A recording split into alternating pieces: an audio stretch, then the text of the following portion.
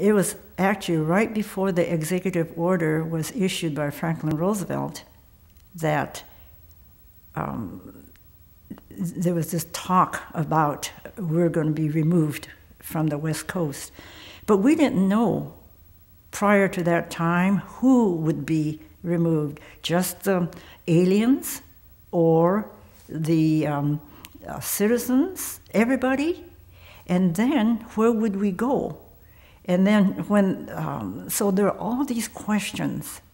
But in the meantime, interestingly enough, um, Tosh and um, Kay were attending the JACL meetings, and they were held like I think on a weekly basis. They were quite uh, faithful in participating in that. I don't know what all went on, but they did uh, attend those meetings. Actually, we had only about six days of official notice to um, leave the island. And those were posted. It's not like email or telephone or anything. There were actual written uh, notices posted on buildings and telephone poles around the island to say you must leave the island by um, March 30th.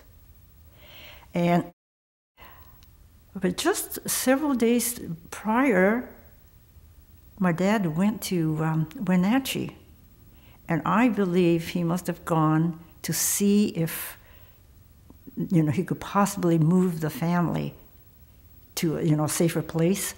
But then he came back the following day, and nothing came of it. But I think that's what he had in mind.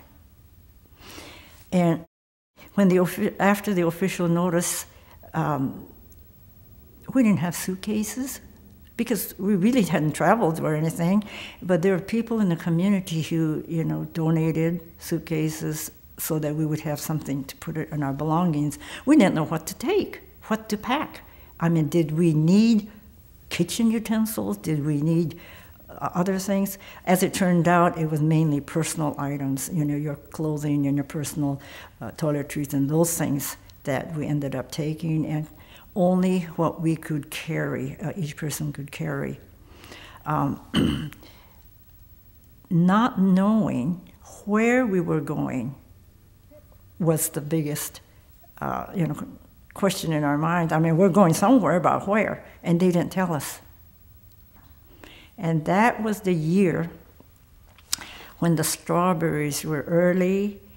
It was doing beautifully. There were flowers on the bushes and uh, it was going to be a bumper crop.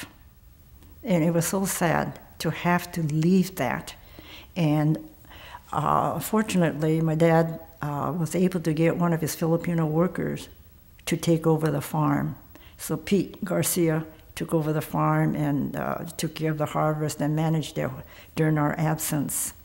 They also needed um, someone to rent the house. So this lady and her son uh, rented the house uh, and stayed there um, during the war years.